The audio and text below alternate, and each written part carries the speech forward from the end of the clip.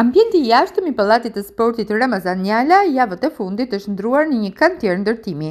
Në pamje të parë duket sikur ka nisur rikonstruksioni i godinës, por në të vërtetë, punimet që po kryhen nuk kanë asnjë lidhje me Pallatin e Sportit. Referuar tabelës, bëhet fjalë për rihabilitimin e segmentit rrugor, Rruga e dëshmorëve. Punimet që kanë nisur javë më parë janë shtrirë edhe në rrugën Adria, duke krijuar jo pak anomali në qarkullimin e këmbësorëve dhe automjeteve. Ndërsa afrimi i festave të fundvitit do ta thellojë problematikën, duke krijuar kaos dhe radhë të gjata. Nga ana tjetër, Pallati i Sportit vijon të mbetet në të njëjtat kushte të papërshtatshme pavarësisht rëndësisë që ka.